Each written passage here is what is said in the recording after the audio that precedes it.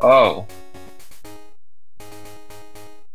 It says Black White EXP because it uses the the new mechanics of in Black White where where winning a fight with a lower Pokemon gives you more XP. Whereas before you get the same always. They should start, start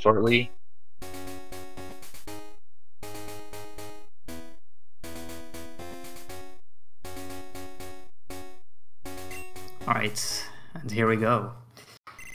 Here we go. So, rules for uh, night. Oh yeah, nighttime. That's that's an interesting one. So the rules of this randomizer, for those who are not familiar with it, is that um, players are going to uh, go on a hunt to find all the 16 badges and the Pokegear plus uh, the radio card and the expansion card.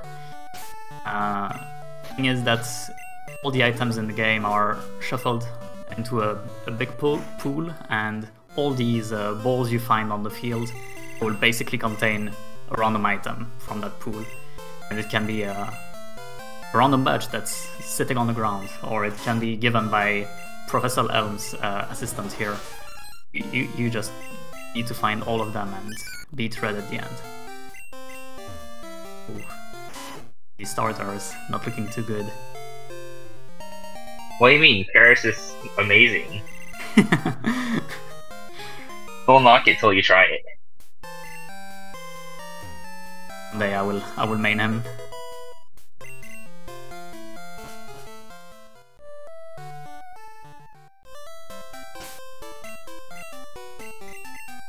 Cool feature of this um, randomizer compared to the previous year's uh, tournament that uh, we can now uh, bike everywhere, including indoors, and uh, we start with a repel, allowing us to uh, get through this first road uh, route uh, without any encounters.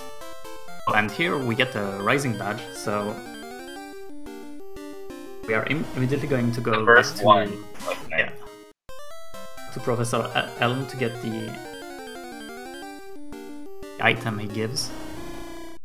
It's usually Master Ball in vanilla, but it's Yeah. now Rare Candy.